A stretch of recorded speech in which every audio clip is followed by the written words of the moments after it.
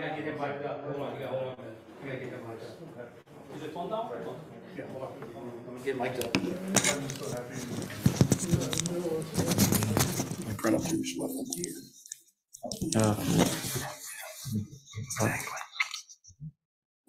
Hey, Nathan, bring down one and bring up two. No, sorry, opposite, bring two down.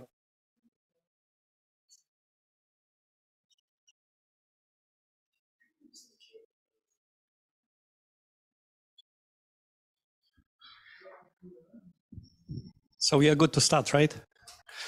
All right, it's a pleasure to welcome our uh, visitor today, uh, Professor Eugene Demler, longtime friend. Uh, Eugene uh, got his PhD from Stanford, then he moved to Harvard, uh, went through all the ranks, becoming a full professor, and eventually he moved to ETH in Switzerland. And he uh, also got this Humboldt Award and worked as a distinguished scholar in uh, Max Planck Institute in Garching.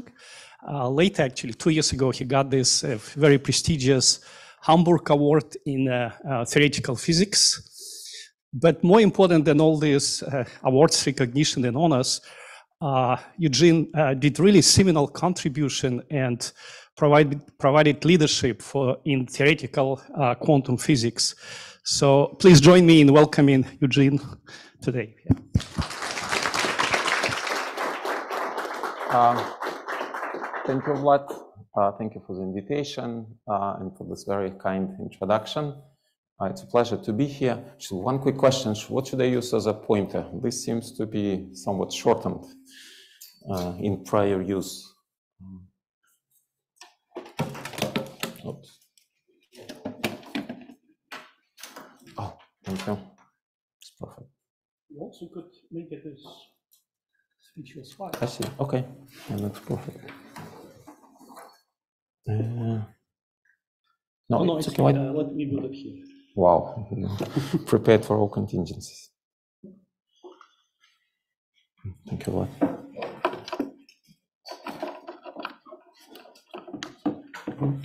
That's what it says.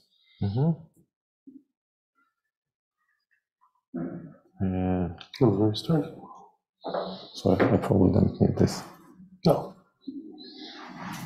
no. Okay, perfect. Okay, and then the laser pointer? Yes. I'm sorry. Okay. Right. Oh. Um, okay, great. Uh, let's uh, get going. Uh, so I'll tell you about uh, our work and actually appreciate uh, the opportunity to talk about uh, relatively new direction uh, in the research program of my group, uh, which is uh, sort of focusing on photonics aspects. So many things that I'm presenting today are fairly recent, and uh, we're continuing to think about them. So feedback, comments, suggestions, criticism will be greatly appreciated. I want to begin by uh, giving credit to people who did most of uh, the work. So this is John, who was a postdoc back at Harvard uh, and is currently a postdoc at UCLA. Pavel uh, is a grad student in uh, group at Harvard, and Ilya uh, is uh, has been a, a PhD postdoc at Harvard and now started a faculty job in Wisconsin. So uh, just to orient people, I'll be when I talk about photons, there will be kind of two frequency and energy ranges uh, that we will be discussing. Uh, I will uh, spend kind of the beginning of my talk uh, will focus, and when I talk about photons as a platform, I'll talk about terahertz photons uh, and uh, like in terms of energy scales for people uh, who are uh, more on the condensed matter side. So we talk about uh, milli electron volts. And the reason why uh, this is very interesting for people coming from um, condensed matter background is that this is a frequency range where a lot of collective excitations uh, in interacting systems uh, exist. So we can, it uh, starts with very simple phonon modes, but it's also sort of the frequency of, like say, quasi-particle excitations, uh, frequency of Josephson plasmons. So defining uh, sort of uh, characteristic defining excitations of superconducting state.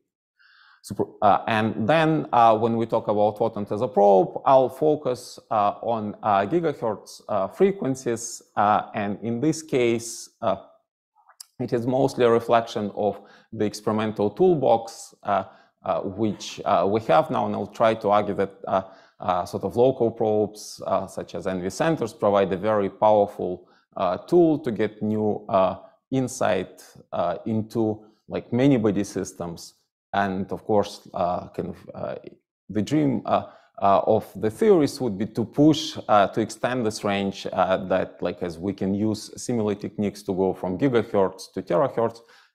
and that's something I'll be happy to discuss offline. Okay, so uh, this is the outline of my talk. I'll try to give you a, a, kind of a summary of different research directions that we'll be interested in. So when we talk about photons uh, as a platform, uh, I'll uh, like the central theme around what I'll be presenting will be cavity uh, QED, and uh, uh, then I'll try to discuss different aspects. One is, okay, well, if we want to get interesting many-body physics with photons, we have to make them strongly interacting, and I'll suggest one specific example of cavity QED, which I think uh, is very promising and uh, just uses tools which are available in uh, many labs. Uh, and this is uh, like, uh, I say, materials with hyperbolic phonon polariton on something as simple as HBN, and then coupled to matter, which could be an electron gas.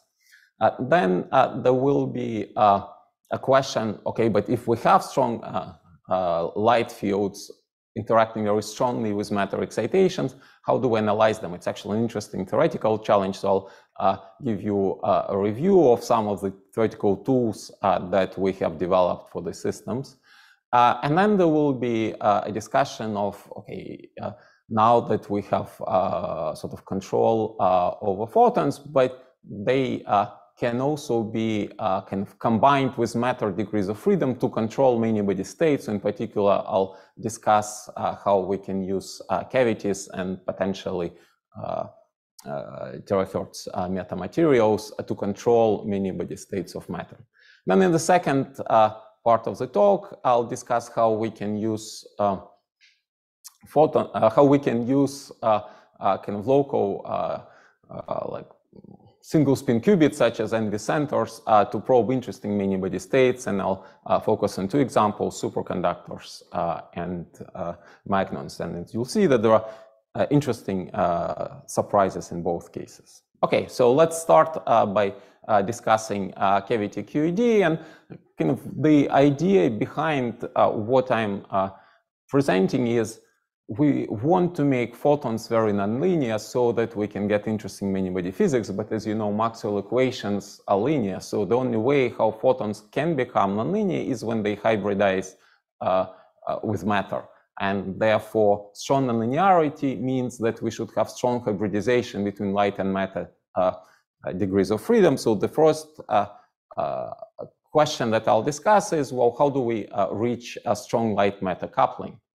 So uh, think, uh, let me give, you again, for non-experts, let me give a kind of general ideas when we say strong coupling, uh, what do we mean? Consider like very toy uh, model, like we just have one cavity mode uh, and uh, this cavity mode sort of is coupled in the usual way to a particle, it's a single particle, which say is in some potential, it can be double well, that's what we'll be looking at, or just even simple harmonic oscillator.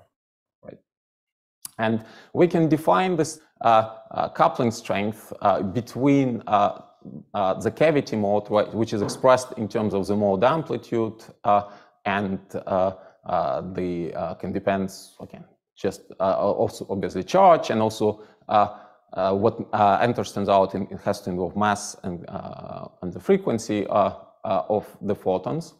But the kind of real distinction between of sort of different parameter regimes is how this coupling strength, right, which is proportional to the charge and uh, so to the amplitude of the cavity mode at the position of the particle, how does this coupling mode uh, compare to the original photon frequencies? And uh, uh it, there's a very amusing language that has developed uh, in this field. So uh, when this coupling, like traditionally, this parameter would be much less than one if we just take plain vanilla uh, atom coupled uh, to uh, an optical light. Uh, and people have been pushing to have to increase this interaction. And uh, you have this hierarchy that when it's less than 0.1, it's ultra strong. And actually, when it's greater than one, it's extremely strong. I don't know, I guess it's really just a historical accident why people chose these notations. Huh? Okay, that's another perspective. So, and people have been discussing uh, various possibilities uh, uh, uh how to achieve uh, this uh, strong coupling, straight light meta coupling. let me just focus on the kind of what I think is uh, in very promising direction, and this is work that we have done with Yuto Ashida from the University of Tokyo and my colleague Ataç Imamoglu. So let me start again for people uh, who are maybe not from uh, the optics community uh, uh with some simple uh, reminder of the simplest type of light matter coupling. Imagine that we have an, a collective mode which has dipolar moments in IR phonon. So if we look at the dispersion of this IR phonon, let's say this would be some let's say we can even neglect uh, uh, like momentum dependence. And then we have light, right? Okay, but because there is dipolar moment of light, sorry, light dipolar moment of matter, then it will hybridize with light, and this uh, uh, leads to the formation of what's called lower uh, polariton and upper polariton, and in between there is a Reststrahlen band. but and uh, like the formation uh, of these uh, polaritons is an indication of light matter coupling, right? So like here, like eigenmodes, they're a hybrid of the original phonon uh, and uh, light-like excitation. But the problem usually is uh, that speed of light is very high.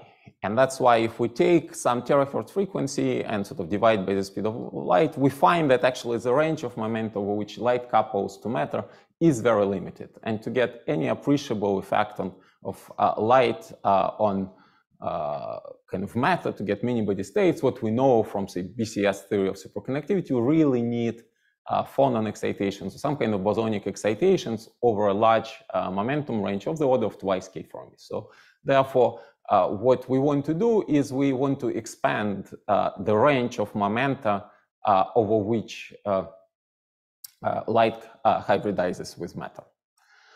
Okay, uh, so, and in this uh, respect, actually, what uh, seems very promising is the idea of hyperbolic phonon polariton. So what it means for, like, just in the simple language, eh, consider an anisotropic material, say layered material, uh, then uh, the frequency of IR active phonons out of plane and in plane are different. And then you will not be surprised to find the electric constant for different light polarization uh, to have opposite sign. Then if we think about this kind of light matter hybrid, essentially those light uh, matter polaritons, they uh, uh, have this dispersion, but notice uh, that uh, for different components of momentum, we have different components of the dielectric tensor. And now what we can have is uh, that we can have fairly appreciable uh, Q, right? And uh, in such a way that both momenta are real, uh, but together we what we still uh, have low frequency mode just because the electric constants have different sign, right? So instead of like simple parabolas uh, for lines of constant energy, we actually get hyperbolas. And, and indeed, what you can do, you can take uh, like the simple uh, HBN and uh, try to work out collective uh, excitations, these phonon polaritons, and you find that there are modes, okay, what's shown, uh, which exist. In this case, this is near like this first kind of type one uh, hyperbolic material that over an extended range of momenta, the frequency is just very close to the frequency of the original phonon. And uh, also we can, if we look at the profile of these modes, let's say one of the modes, see that the phonon component, of course, is only within the material, but it has electric field component, which extends uh, fairly uh, uh far uh, outside of the material, which means that if we introduce some, let's say, any kind of uh, electronic degree of freedom, like uh, let's say graphene, then it will be able uh, to couple to this phonon polaritons. But now Uh, you can see that we can cover a much uh, larger range uh, of momenta where uh, this uh, kind of our eigenmodes, they are combination of phonons in HBN and electric field, evanescent electric field outside of the sample.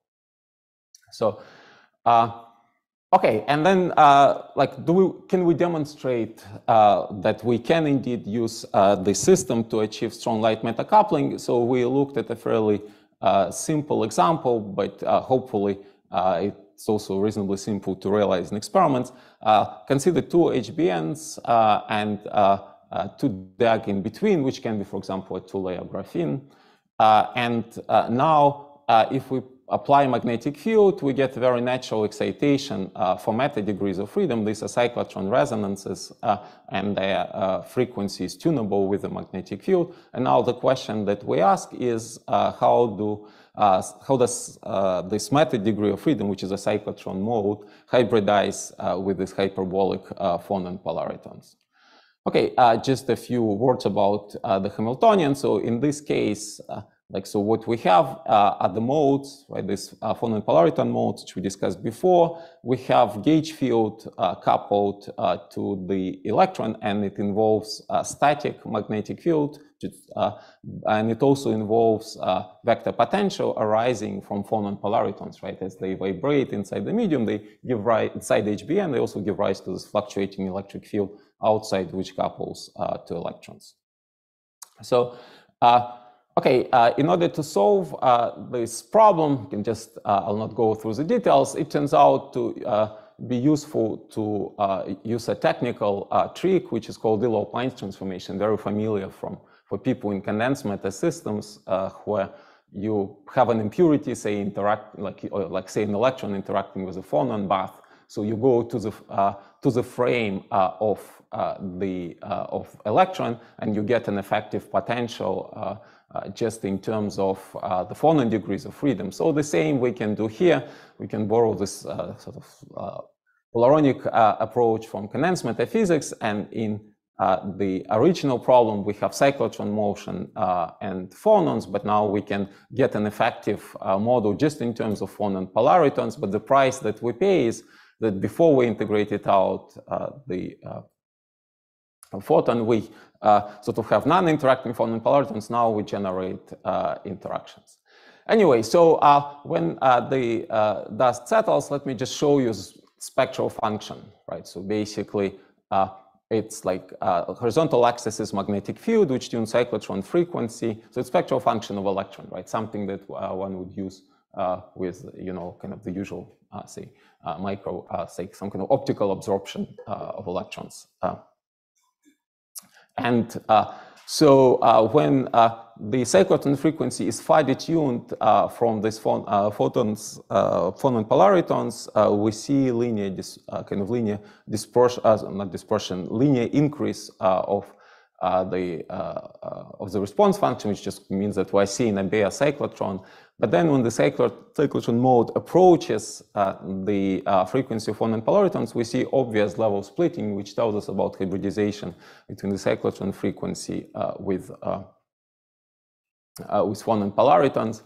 And uh, notice uh, that for this splitting to be appreciable, we have to take uh, thin layers uh, of HBN. Uh, so this really just has to do with the nature of uh, the modes of phonon polaritons. If we want to have a kind of bigger component outside of HBN, it, we, it's better to take actually thinner HBN slabs. Okay, then oh, it, those now we can also decide what type of strong coupling do we want, because if we take a large piece of, let's say, HBN and 2DEG, we have many modes, and though we, uh, uh, even though we have a strong coupling, but it's basically in some sense the cyclotron mode really sort of hybridizes with the continuum, it's hard to distinguish individual modes. If we take smaller sample, uh, then we see distinct modes uh, which hybridize with the cyclotron. But the bottom line is uh, that if we compute uh, the uh, interaction strength, the mixing between uh, cyclotron uh, excitation uh, and these phonon polaritons, we find that we can achieve uh, like this very strong coupling where coupling is of the order of twice the frequency of the original phonon polariton. Okay, so so we have uh, kind of ways to get uh, to achieve strong couple, uh, strong light matter coupling, but the like from the theory point of view, there are very interesting questions that arise. How do we actually even solve these problems of strong coupling QED? So let me now discuss like a more general setting. Imagine, but I uh, for the time being, I still consider just one particle, which can be a particle in a double well. But now it's coupled uh, to a continuum uh, of uh, electromagnetic, like of cavity modes of some kind, right? And uh, we still, so we have the usual kind of transverse coupling, uh, gauge coupling uh, of the field to kinetic energy of the particle. And like later on, just to illustrate uh, the point, I'll uh, use uh, the following uh, system. Let's imagine we just have uh, array of cavities, uh, and then they sort of different cavity modes can hybridize with each other, which will give us a continuum of cavity modes. And then next to it, we put a particle in the double well potential, so which we can schematically present with this potential.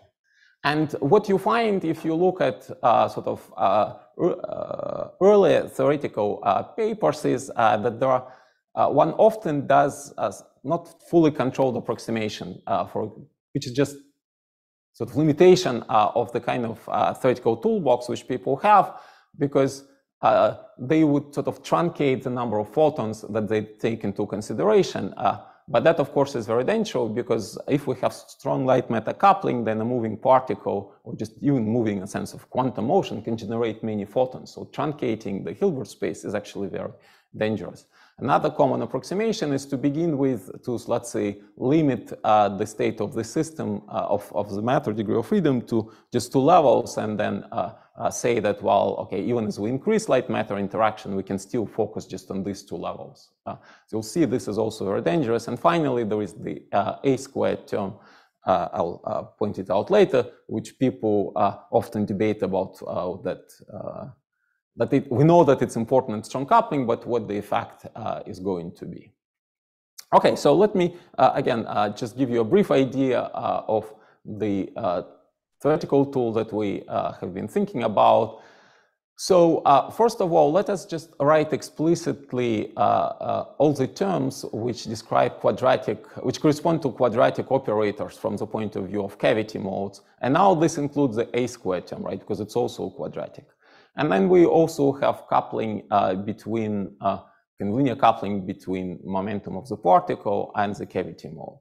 But now we take all the quadratic terms uh, for the cavities and we diagonalize it, right?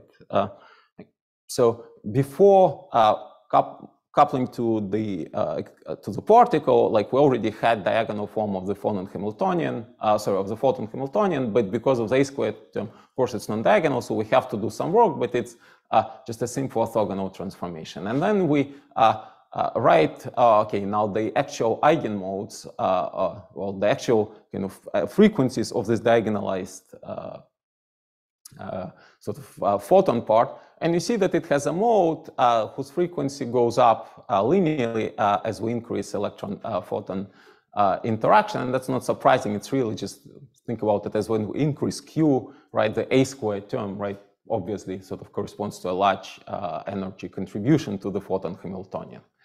And this mode actually is the one which uh, couples to uh, strongest uh, to uh, the uh, particle.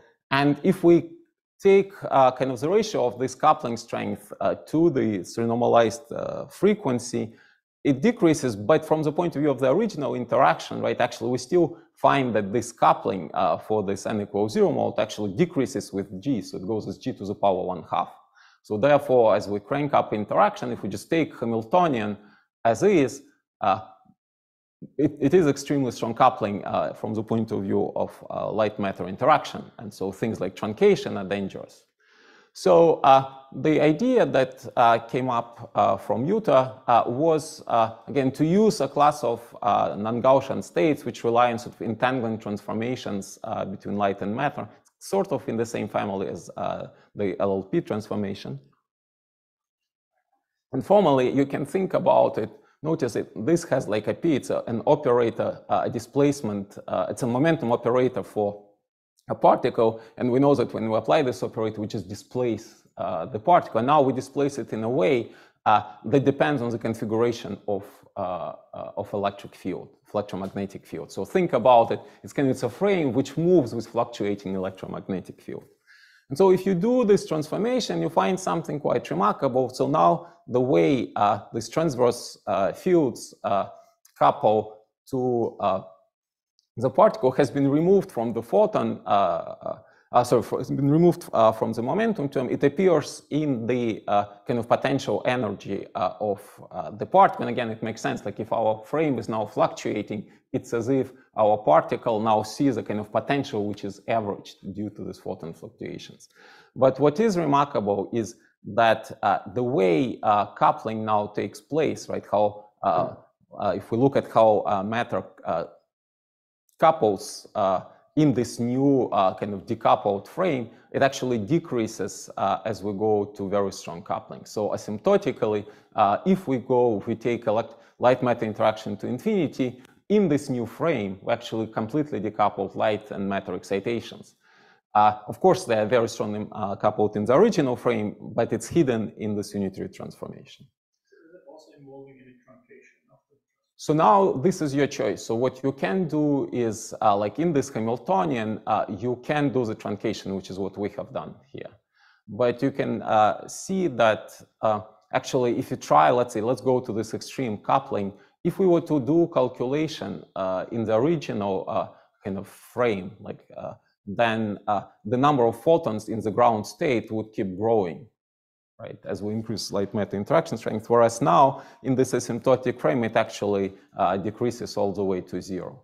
And of course, this transformation, actually what's good is uh, that it's designed in such a way uh, uh that for strong coupling, it's actually essentially kind of Schrieffer-Wolff type transformation. And that's why it's also exact for weak coupling. And uh, so you can analytically study weak coupling, strong coupling. For intermediate coupling, this is now where, okay, you have to do some either perturbation theory or numerics with, based on truncation in the number of photons, but it's much less uh, dangerous because we're sort of in the regime where coupling constant never exceeds one, right? Also, the losses or matter or, photons are ignored, right? Uh, so far, we did not include, yes, finite lifetime. Uh, it, it is an interesting question. We uh, haven't thought about it, but I believe there should be a way to generalize this transformation for open systems. But yeah, it's actually a good question. Okay, uh, anyway, I, I, think so one can, yeah, I mean, we'll uh, skip the details. Let me just illustrate so uh, some of the uh, things uh, that come out, which are rather uh, amusing. So in, if we think about effective Hamiltonian, basically what we can do now in this new frame sort of uh, analyze uh, this uh, kind of uh, uh, analyze uh, particle moving in a new potential, which we said physically can be thought of as now particle experiencing a potential which is kind of averaged on the length scale set by how electric field is fluctuating. And if we look at the effective potential, it has a, like we started with a double well potential, and uh, then if we go to this uh, extremely strong coupling, we go back to essentially very similar potential with, uh, but uh, there is a strong renormalization uh, of the effective potential for at intermediate coupling. So there is sort of, this is where we really get the strongest, kind of the most non-trivial effect of light matter coupling. this is when coupling constant divided by the photon frequencies of the order of one. And uh, then uh, just to highlight other surprises, uh, we in the strong coupling, we also get very large normalization of the mass. And so what this means is that for if we start for light, for small light matter coupling, let's say we had this very uh, large separation of discrete uh, energy levels, right? You can think about this as like uh, lowest energy states, hybridized into symmetric and anti-symmetric band, and the first excited state would be high up there. But if the mass of the particle gets strongly renormalized, you see that all of these levels uh, start collapsing. And so uh, as a result, uh, these levels, which used to be at very high energy uh, before we introduced strong light matter coupling, they sort of go uh, down in frequency. And now even within individual world, we uh, have to deal with many uh, matter-like excitations. And so one, of, and as a, a, result of this, again, for this toy model, which we discussed, let's choose parameters such that the original frequency of the matter was twice the frequency uh, sort of, of photons uh, in this array. So in the array we started, so you see this, it's a finite uh, array, so we have discrete, uh, oh, sorry, a large number of modes at the frequency uh, uh, set by the frequency of individual optical cavities, right? It's finite bandwidth just because of hybridization. And then we also have an excitation that corresponds to excitation of uh, which correspond to excitation uh, of, uh, of the particle. But now when we start cranking up interaction strength, you see that this excitation, which used to be excitation of matter, actually goes down in frequency, right? And it actually crosses uh, what used to be purely photonic excitation. So we get very uh, interesting uh, bound state in, inside the continuum, but notice in this case, they don't require any fine tuning. The real arise just from the fact that this matter-like excitation strong coupling, uh, they become degenerate uh, with uh, light excitation. and so, and again, like at very strong coupling, then these are the regimes where essentially in this adiabatically decoupled frame, we can do something very simple. We can just say, oh, after we entangled the electron, uh, the particle and the photons, we can just take the ground state of the photon and ask what would be excitations. Uh, so this is the dashed line asymptotically we approach this regime. So uh, anyway, I think this uh, kind of shows uh, that we can use uh, these interesting non-perturbative tricks uh, which combine kind of uh, philosophy of both polaronic transformation of condensed matter and using different gauges in optics to analyze the strong coupling QED. Okay, now let me move to the other part of so what what the cavities can be good for, and this actually, and for me personally but I think for many people in the community uh, was motivated by experiments without cavities, but uh, on uh, in this kind of general framework of light-induced uh, states of matter. This is one of the examples. Uh, so it's a buckyball superconductor, which has an equilibrium transition of 20 Kelvin. And uh, let's say if they probe it, the simplest optical probe is to do some kind of reflectivity. And then uh, in the real part of conductivity below TC, you see the gap opening up. It's just like the BCS quasi-particle gap. And in the imaginary part, there is one over omega tail. But what uh, was observed in Andrea Cavalleri's group is uh, that they take this material and pump it uh, with uh, photons, uh, which have to be resonant with some IR phonons in the material. And then even a temperature which is as high as 100 Kelvin, uh, they see something very similar. They see a gap opening up in real part of conductivity, and they see one over omega tail in imaginary part. So it's kind of remark, and in this specific material, it's actually uh, remarkably long-lived. It lives a nanosecond. So I would be happy to have a kind of offline discussion about the uh, kind of the physics uh, of these photo-induced states. But on the other hand, it is still a finite lifetime. You know that when you pump, material heats up, uh, like in this case, after a nanosecond, uh, you know, like this transient superconductivity is gone. In other cases, like organic materials or high TC cuprates, it lasts even less, it lasts picoseconds. So uh, this is what motivated many people to uh, search for alternative ways uh, of using light to control many-body uh, physics, uh, which avoid this heating problem. And uh, an obvious idea is to use cavities uh, of some kind, and I know that's the direction which uh, is also pursued here. Uh, and uh, but it, of course, is quite remarkable that uh, we are not using classical light, but we're using, we're just controlling electromagnetic vacuum to and ask whether this can modify the equilibrium state of the electron system. Uh, there are actually interesting uh, experiments which are still a subject of controversy, which see how cavities uh, can affect uh, interesting quantum phenomena. Uh, so uh, there are chemical reactions which are altered by putting them in a cavity.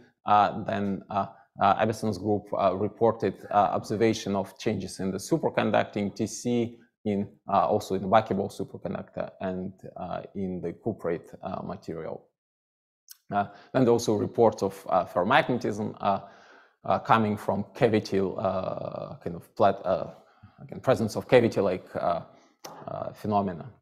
But what we want to do is uh, let's look at a very simple uh, example where we can uh, hopefully make more progress. Right? And a specific example that we chose was ferroelectric transition. And uh, it's in this case, it's like the degree, is the low energy degree of freedom, the order parameter is most naturally coupled to uh, uh, photons because uh, the transition really occurs uh, when we have, let's say, one of the ions moving away from the equilibrium position, the unit cell develops electric dipolar moment, which couples uh, to electric field in the cavity. And without the cavity, we know that there is a well-defined, uh, uh, that the usual Ginzburg-Landau theory of the phase transition provides fairly accurate description, including the quantum critical points. So Another advantage of this transition is that one can either tune through this with temperature or just, let's say, by applying pressure isotope substitution, so we have a quantum critical point. And so to describe this point, uh, one can use this Ginzburg-Landau theory, but what is crucial in this theory is uh, phonon nonlinearities. Uh, so if one wants to look at, uh, uh, for example, where does the transition take place, it's not enough, like usually in Landau, what you think about, oh, it's just where this coefficient changes sign A, right? When it's negative, it's energetically favorable to have expectation value of polarization. Actually, that's not uh, really true. What one should look at as a kind of, uh, one should look at renormalization uh, of, of this coefficient A by fluctuations, right? It's really this combined uh, quantity. Or the way this was checked in experiments, let's say they looked at uh, basically things like response function, susceptibility uh, of uh, the paraelectric material. so how easy it is to polarize it by the electric field. and when it diverges, we have a transition. And notice uh, that the divergence is, again, not determined by the point where this coefficient A goes to zero, but it's really A plus the contribution due to uh, phonon fluctuations themselves. And so this self-consistent theory actually turns out to give a fairly uh, accurate description of the quantum uh, critical point. Okay, and now what uh, the question that we ask is, uh, how will the physics of paraelectric to ferroelectric transition change once we, uh, we place it in the cavity? And okay, well, so for someone like me coming from a transmitter background, the first thing is to actually recall how cavities uh, work. So, uh, and uh, fortunately, it's a sufficiently simple equation, uh, which uh, involves uh, sort of magnetic constant and the electric constant. And if we take these canonical examples in which the electric constant is not a function of frequency, then we get equally spaced modes, right? Uh, which correspond to different excitations, uh, different excitations of the cavity. Uh, now let's imagine that we put a paraelectric in the middle. So to find eigenmode, like in zeroth order, we still have to use the same equation, but now our dielectric constant is a strong function of frequency because we know that uh, it actually goes through divergence uh, at the frequency of uh, the phonon resonance. And therefore, in a fairly narrow uh, range of frequencies around this resonance, we can find many solutions to this frequency, which are no longer uh, space, but there will be sort of very kind of dense uh, zoo of modes, uh, which correspond to uh, now this cavity, but with the inner side being a paraelectric. And uh, okay, you can go through this analysis and ask, okay, so uh, do we have any softening? Like if we just take quadratic theory, right? We had some non-interacting, we neglected interaction between phonons, uh, and uh, uh like by putting cavities, uh, like can we uh, change the transition point? and the, your first suspicion would be, oh, of course, like maybe it's dipolar charges, right? I have a big piece of metal, I put an electric dipole, I get some kind of like a screening dipole on the other hand. This will give me Uh, uh, uh, kind of positive, kind of, it will lower the energy of the system. But then you think about it and say, well, but actually, while looking at softening of long wavelength excitation, so I shouldn't think about point-like dipoles, I should really think about kind of long dipole chains, like let's say q equal to zero, and then you realize that actually interaction between uh, uh, sort of infinite chains of dipoles is actually zero because side by side it's repulsion, but there will be another dipole far away where it's attractive, so it, it will cancel. And in fact, one can show that for purely quadratic theory, neglecting phonon interactions, uh, adding the bound, adding cavities does not change the transition, right? So we really have to include phonon nonlinearities uh, in order to understand what the effect on the transition is going to be. And uh, so effectively, we should think about the photon, uh, the, this sort of normalization of uh, the frequency of phonon polaritons, which arises from nonlinear uh, term uh, for the phonons. And specifically, what uh, we can ask is whether this effective phonon frequency is renormalized next to the cavity.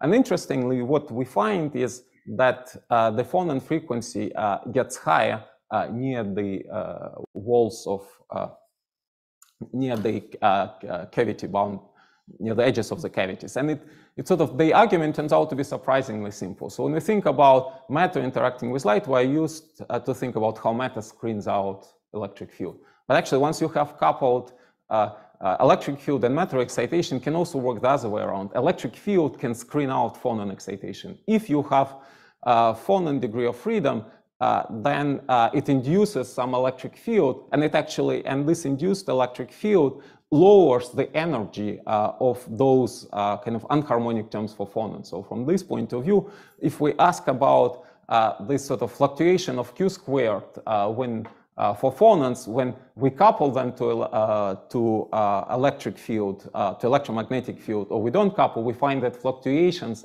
are bigger when coupling uh, to electromagnetic field is present because this electromagnetic field provides effective screening.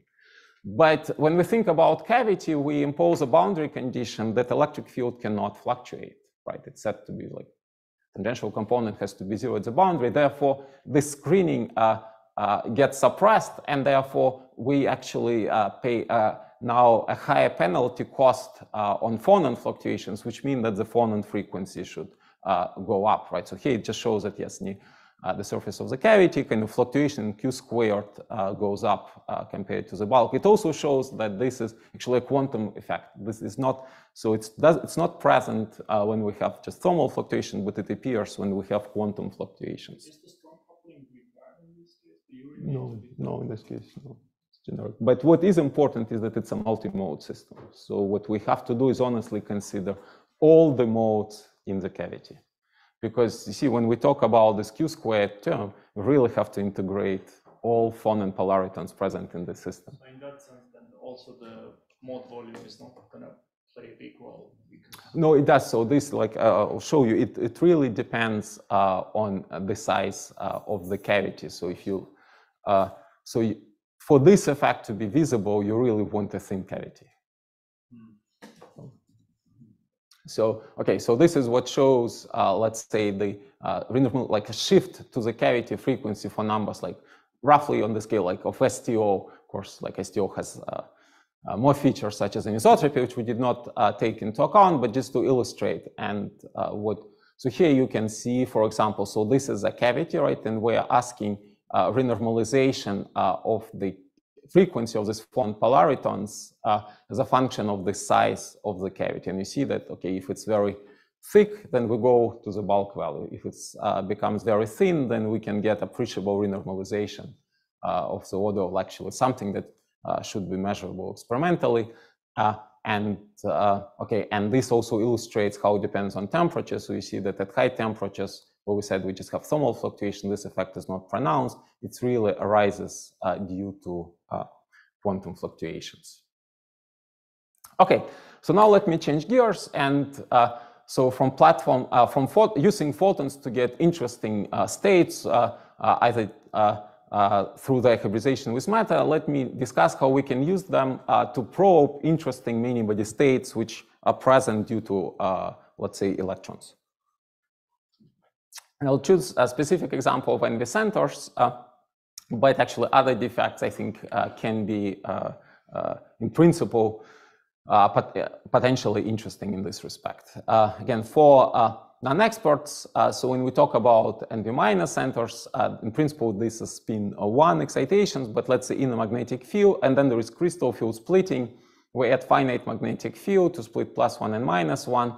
So for practical purposes, we can think about uh, what uh, can we're operating with is just two states of the NV center with magnetic number zero and minus one. So this is like a two level uh, system. And uh, now we can ask, well, how can we use uh, this two level system to interrogate uh, uh, many body state? And the argument is as follows. Uh, let's say we bring this single spin qubit near the surface of some interesting material. Like first step, let's assume that this is just a piece of metal. then what will happen is that, and then we ask, will this metal change uh, uh, sort of coherence properties uh, of uh, this uh, spin uh, qubit? So in particular, will it will it modify sort of transitions from the excited state to the ground state? And of course, for this to occur, we need to have magnetic field fluctuations at the frequency that matches the frequency of this transition.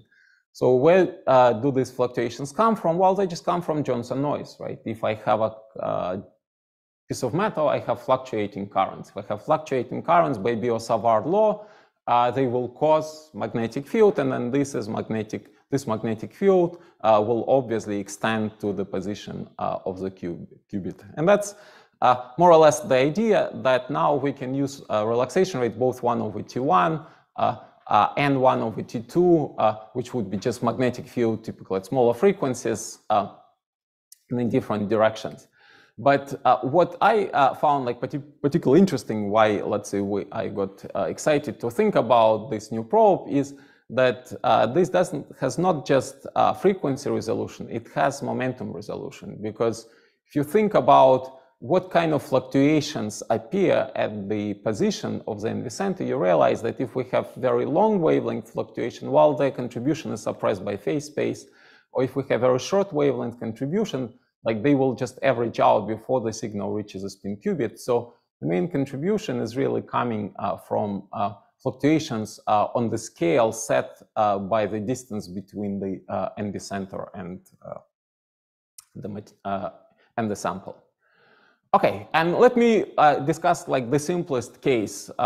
actually, this follows experiments done at Harvard in the group of Hongkun Park and Misha Lukin It was really uh, uh, like a piece of metal. And now what, uh, let's just uh, do this program. We want to compute fluctuations uh, of magnetic field uh, at the position of the NV center. And we can relate this fluctuating magnetic field to current fluctuations inside the sample through this Biot-Savart law.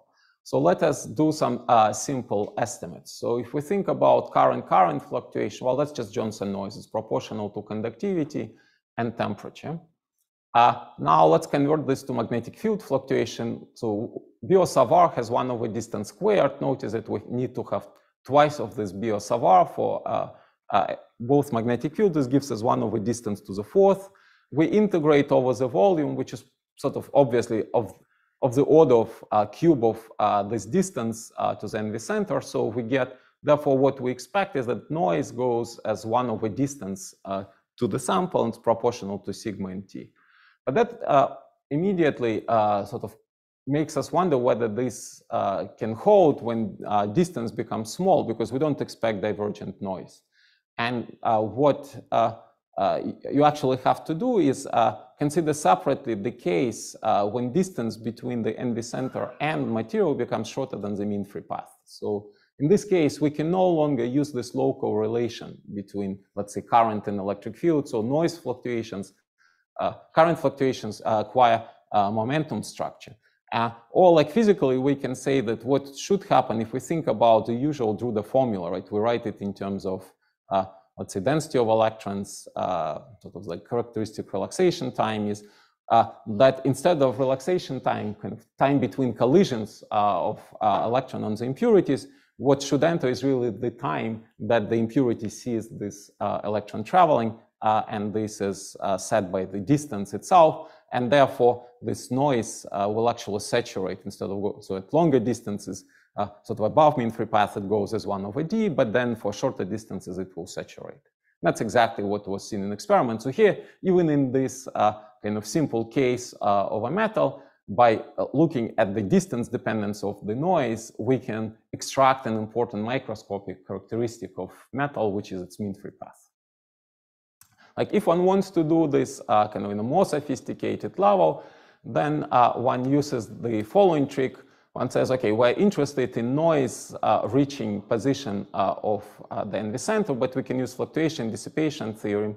So we can, instead of thinking about noise, let us consider response. Let's consider a fluctuating magnetic dipole, which emits electromagnetic waves, which get reflected from the medium. And then we can compute uh, what is magnetic field induced at the position of the NV center.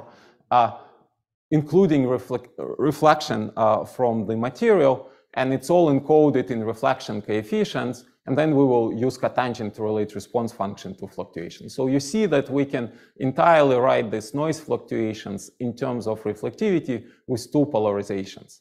Uh, what uh, and in metals, usually longitudinal uh, uh, conductivity is so again. Okay, that's somewhat unusual what we're more familiar we're more familiar with is conductivity at zero momentum. That's how optics operates.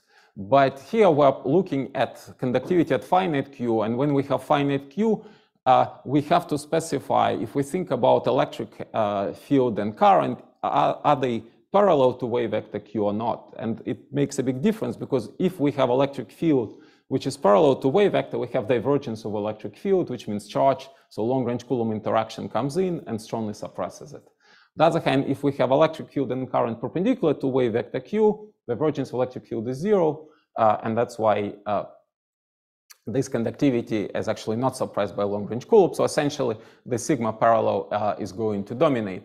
But in principle, by analyzing noise, uh, magnetic field noise in different uh, orientations, one uh, should be able to extract both conductivities, although contribution due to the sigma parallel is generally much weaker. This is a two-dimensional. it actually, no, this, uh, uh, the way uh, this is written, it actually, it really doesn't matter. So because it's all in terms of reflectivities, right? So the only thing, this Q is a two-dimensional Q. So this, uh, whether it's 2D or 3D, just enters into how we compute this reflectivity coefficients.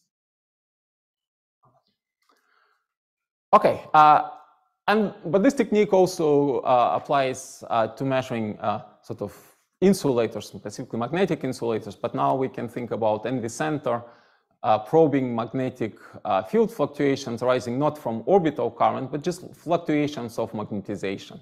So now we can say if there is fluctuation of magnetization, we can relate it to fluctuation of magnetic field, just like the usual magnetic dipoles give rise to magnetic field. And so we can uh, relate uh, then this fluctuating magnetic field to the correlator uh, of uh, of magnetization. So it becomes kind of a measure of spin susceptibility uh, of, uh, of the system. Okay, so as I said, let's uh, try. So like one of the questions that uh, we're interested in is how to use these NV centers to probe superconductors, especially atomically thin 2D superconductors, let's say in TMD. It's very hard to make contacts. Uh, so when even when people suspect that there is superconductivity, let's say it's not easy to uh, confirm it uh, by just seeing uh, uh, change, uh, actual charge transport. also, even in the case of graphene, right, so far we don't have like a smoking and signature of what is the symmetry of the order parameter. And that I will try to convince you that we can use NV centers to do exactly this type of measurement, which will help us well establish superconductivity in the first place, but also determine the symmetry of the order parameter. And uh, roughly the idea is as follows. We, okay, we know we have an expression for noise in terms of conductivity, but now we uh, know how to compute uh, conductivity uh, uh, in superconductors. And the first case uh, that we can see, consider, imagine that this is kind of more mean field superconductor. So we don't actually have to worry about this preformed Cooper pairs. So like the transition temperature is BCS-like. So then uh, most of the noise will actually be coming, uh, say, at uh, finite temperatures will uh, uh, will come due to thermally excited quasi-particles. So uh, then we can compute a real part of conductivity due to thermally excited quasi-particles, and we find that it is proportional to the number of quasi-particles. And in an S-wave superconductor, the number of quasi-particles depends exponentially on temperature, whereas uh, if we have unconventional superconductor which has nodes in the gap, we have a power law. And uh, then one can also, again, establish uh, that there are different dependencies on the distance between the NV center uh, and the material. Again, one can actually do even more accurate studies because in real materials, there are more length scales. It's not just, say, the distance, like naively you would say, all, all, all that matters is this superconducting coherence length, which is roughly like the size of Cooper pairs and distance to the NV center. But in real materials, uh, there is also uh, mean-free path, which tells us how disordered this is. So I'll not go through uh, all of the analysis, but just to point out that yes, we one can see uh, like different regimes depending on like one can make predictions uh, depending on what is the uh, kind of the ratio of, let's say, of the distance of the center relative to mean free path, uh, relative to the coherence length. This will all show up in different dependencies of noise uh, uh on the distance. Uh, and so therefore there is more information than just temperature dependence, uh, which by itself would be quite remarkable. Okay, but then this, okay, this was a kind of very BCS-like picture, but we know that we like when we talk about 2D superconductors, they have often very exotic feature that Cooper pairs are formed at very high temperature. And then the actual TC is determined by the fact that Cooper pairs become coherent. So, and uh, the, therefore, uh, when we talk about TC, there are very few quasi-particles to begin with. However, we still have fluctuating currents, but now these fluctuating currents arise due to these preformed Cooper pairs and vortices. So can we provide some, uh, can we provide signatures of this fluctuating regime? That's sort of what it goes under the name of Berezinskii-Kosterlitz-Thouless type physics uh, uh, using spectroscopy. Again, I'll just give you uh, a gist. Uh, so if we think about uh, current flowing in such a superconductor, so we know that we should separate fluctuations of the phase into very smooth fluctuations, right? sort of like which arise from the usual gradient of the superconducting phase from uh, fluctuations which arise due to vortices. And essentially, uh, like in two dimension, the actual uh, transition that we have is BKT, and this has to do just with proliferation of vortices. And uh, so now what one can show, and what is actually remarkable is that if we think about the uh, currents, so this smooth fluctuation, you see, they actually give us current, which is uh, along the direction of wave vectors, they involve gradient of the phase. Whereas vortex configuration, they actually give us transverse uh, current, like they give us current which is perpendicular to the wave vector. And therefore, when we talk about uh, conductivity, uh, transverse conductivity, which we said is kind of the main signal to magnetic noise, one can actually show that it's directly related to the uh, density, uh, to fluctuations of vortices. And uh, therefore, we can relate correlation function of noise to something that people considered in the past when people think about uh, like this big uh, BKT transition. So one can formally think about uh, vortices as sort of some kind of a Coulomb gas because of the logarithmic interaction between them. Again, there is some interesting uh, physics uh, behind it because like this BKT physics usually is studied uh, using RG equation, and it turns out that you can see this RG equation by basically probing noise at different uh, distances, again, of the NV center, because as we said, by probing uh, uh noise at different, like when we place the NV center at different distances uh, to the superconductor, we're probing fluctuation in different wavelengths, but that's exactly what RG equations for the BKT transition describe they tell us how fluctuations change as we look at different length scales. So, uh, okay, so this is more or less what comes out. So what we find is that magnetic noise should peak somewhere uh, above the BKT transition. Uh, in terms of numbers, it actually doesn't look so bad, at least according to experimental friends uh, that uh, with whom we discussed. Uh, but there are also kind of dramatic parameter variations because it and these variations rise from the fact that actually what enters is also fugacity of vortices. Uh, so basically, how easy is it to thermally generate uh, a vortex? Okay, so now uh, let me, uh, am I completely out of time? Should I? Okay, uh, like five minutes. Okay, yeah, that should be enough. So now let me, uh, then in five minutes, I'm sure I'll just finish the idea of spectroscopy of magnons. So uh, here, let me sort of change, think about a slightly different uh, modality. Uh, we will think about uh, fluctuations of, uh, like think about the different protocol. Instead of relaxation between up and down state, think about preparing a superposition of up and down, uh, and then looking how the spin of the NV center precesses. But then if there is fluctuating magnetic field, it will sort of alter the rate of precession. And by measuring this kind of now fluctuation in the uh, sort of transverse orientation uh, of the spin of the NV center, we can tell about now fluctuations along the z-axis, and these fluctuations no longer have to be resonant. Uh, in fact, usually this T2 spectroscopy is used to measure low frequency part uh, of fluctuations. And now let us take something very simple, uh, ferromagnet. So if we place a ferromagnet in magnetic field, then there will be a gap in the spectrum. And let's consider the regime uh, where we want to probe fluctuations and frequency, which is smaller than uh, this gap. Therefore, uh, when we think about magnetic fluctuations, uh, they cannot really arise from the fact that we generate a new magnon, but they can arise from uh, the fact that we can reshuffle magnons uh, between sort of thermally excited magnons. And uh, one can go through uh, some kind of simple analysis and say, well, basically show that now uh, this spin, uh, spin fluctuations more or less can be thought of as density fluctuations uh, of the thermally excited magnons.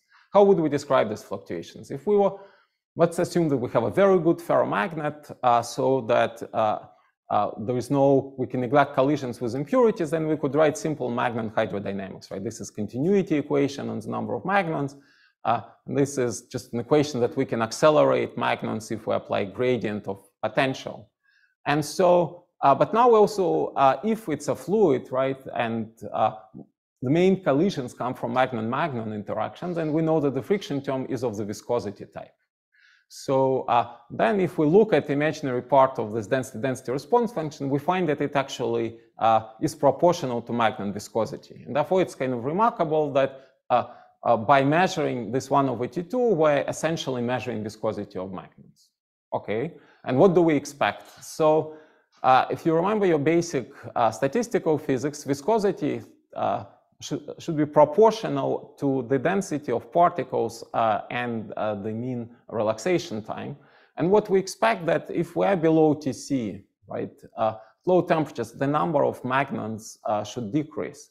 So our intuition tells us uh, that uh, viscosity coefficients should decrease at low temperatures, which somehow makes sense, right? We should see less uh, contribution of magnons to noise should decrease at low temperatures just because we freeze out all the magnons.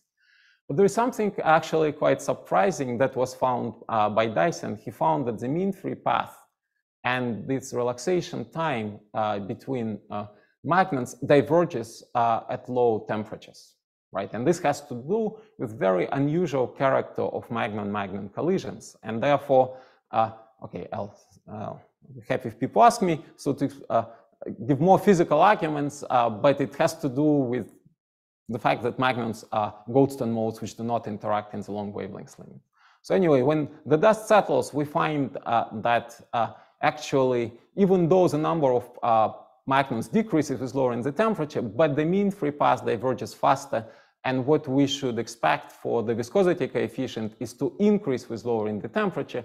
Therefore, magnetic noise uh, as we approach zero temperature should go up rather than go down.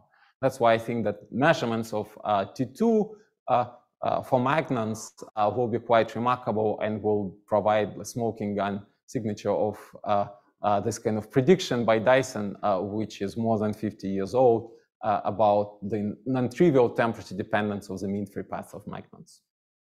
Okay, with this, let me conclude. Uh, so I try to give you some example where I think uh, we can uh, bring phonons, sorry, photons into the fold of many-body physics from the one hand of making them uh, sort of components of interesting many-body states, and on the other hand, by using them as an interesting tool to probe many-body states of electrons. Thank you.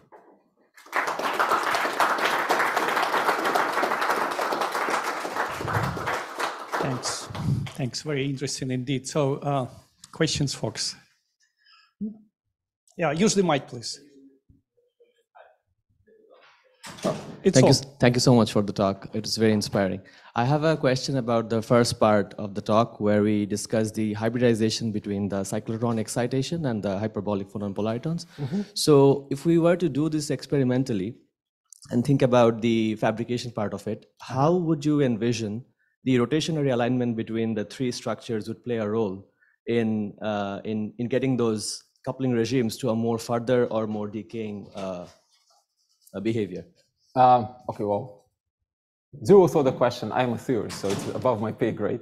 Uh, but uh, I think for what we are discussing, um, like let's say what we did, we uh, assume that this is something like a two. We assume very simple quadratic dispersion of electrons. So like something like a bilayer graphene would be a good example. We don't need to rely on any specific moire.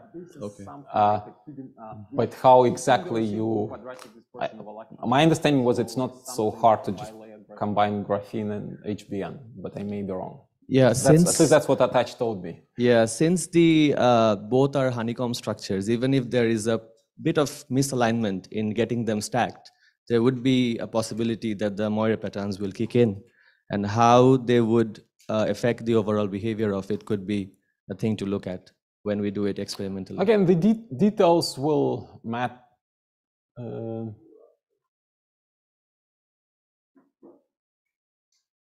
okay i'll have to think about it i uh, obviously once you, you get a Moire pattern with uh, some and some more interesting many-body bot states, things will change. But I would say if we are at a kind of high temperature where we do not have any of these many-body correlated states, like but we still can resolve cyclotron frequencies.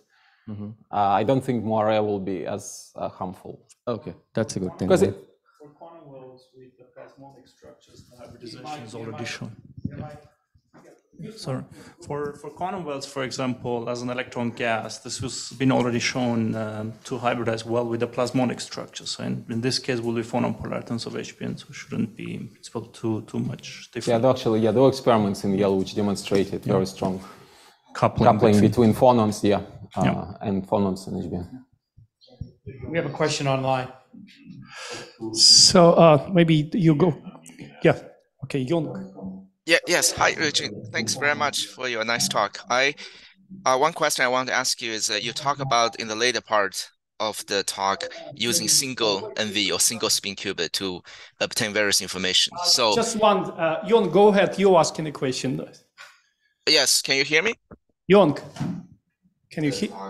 Using single NV or single spin qubit to obtain various information. So yes, Hold on, hold on, hold on. I don't know if we're gonna be able to pull this off because we're on YouTube. yes. Can you hear me? Yeah. I'm speaking. Can you hear? Yes. Hold on, hold on. Yeah, I don't, I don't know if we'll be able to pull this off. He's got to put it in his chat because we're gonna get feedback because of the live stream with YouTube. Yeah, uh, yes, can you repeat the question, please, Young? Okay, if you What can I'm hear saying me, is I I'm can't just. bring the audio up because I've got a YouTube stream going at the same time. We're getting the feedback from YouTube. So we'll need to put him, in- he'll he'll have to put his question in the chat. Uh, okay. If he puts his question in the chat, we can do them. Yeah, he's- Yeah, Okay, yeah, uh, Young is Like those typing. Apple type. He's got it. So, uh, Jon, you will have to postpone your question until meeting with Eugene. So there are some. Or just you could type it. That's that's another option. So uh, those online, please type your questions. Then uh, looks like that's the only options. Yeah, go ahead.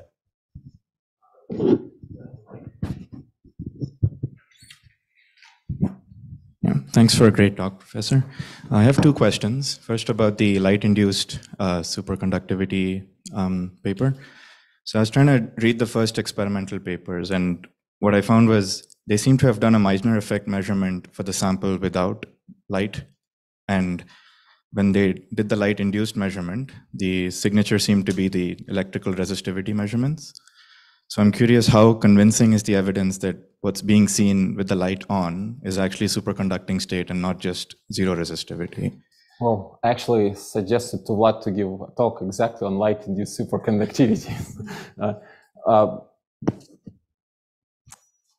one of uh, situation, first of all, situation has changed, uh, that they now have many more measurements. Uh, in particular, uh, I before coming here, I was at a conference, uh, and Andrea Cavalleri was talking about the experiments seeing uh, light-induced Meissner effect in YBCO. Mm-hmm. And I don't, again, it's because there are different classes of materials. Like in the case of YBCO, frankly, I am not yet convinced that what is happening is really light-induced superconducting state because it lives for a picosecond. I believe what those experiments tell us, including this dynamical Meissner, they reveal the fact that there were strong superconducting fluctuations to begin with. Mm-hmm. But in the case of K3C60, where as I said, you can have, uh, they have observed superconductivity living for, uh, you know, like thousand times longer, right? For nanoseconds, they can now even do DC transport. Mm-hmm. However, there they have not seen Meissner effect. See. So I think the jury is still out, but I, would say K3C60 is more likely to be a real light-induced superconductor, and we have a kind of few papers where we try to suggest a scenario for that. I'm glad to see that you're excited about this. That's that's certainly what would be great to see. Yeah, go ahead. Just one other question. So about the um, strontium titanate in the cavity mm-hmm. um, papers.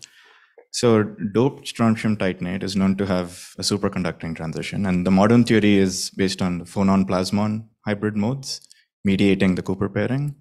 Uh, it's again, this is a subject of debate, as you know. Yeah. So yeah. there was this uh, earlier paper by Balatsky, right, mm-hmm. and company where they said it's uh, IR active phonon, which is exactly the one it's low energy, which gives rise to ferroelectric transition. It's the one that drives superconductivity. Then Patrick Lee uh, came and said, "Oh no, by symmetry, this phonon cannot have." Sufficient coupling to intra-band electron-electron type process. It can only couple you to interband process. Uh, and then Dirk van der Marel invented a kind of a model, said, oh, let us integrate out uh, those higher bands, uh, and then we will get a very unusual type electron phonon coupling. So I, I don't think it's like completely settled story. Would you expect that in this regime of strong light matter coupling inside the cavity, is there some reason to think that the TC would change of doped strontium titanate? Uh, in principle, yes, because I showed you that properties of light uh, of matter excitations can be strongly renormalized when they couple to, uh, uh, let's say, phonon polaritons. Like if we take just intrinsically doped STO, it's something to think about. So uh, yes, so we I I think yes, but we have not done the calculation. Okay, thank you. Online question. So uh, Zoom question from Yong Chin uh, mm-hmm. asked, do you have examples of more or unique information you can get that are otherwise difficult to measure by measuring multiple NVs and look at that correlation? Uh, the answer is yes. Uh, we're thinking about it, but it uh, yeah, so I think the, there is place for interesting correlation spectroscopy with NV centers. Like, let me actually give you even some simple example. Uh, like, imagine that I wanted to measure like uh, very small Q response function with uh, a single NV. We just said, oh, all you have to do is move uh, NV further away from the sample. But at some point, your signal becomes so weak, you simply cannot measure it. So like the simplest thing you, but whereas if you have two NV centers, by doing correlation spectroscopy, you can move them far away from each other, yet keep both of them close to the surface and you will still, uh, so this is how you can measure now, let's say small q uh, response functions uh, of the material.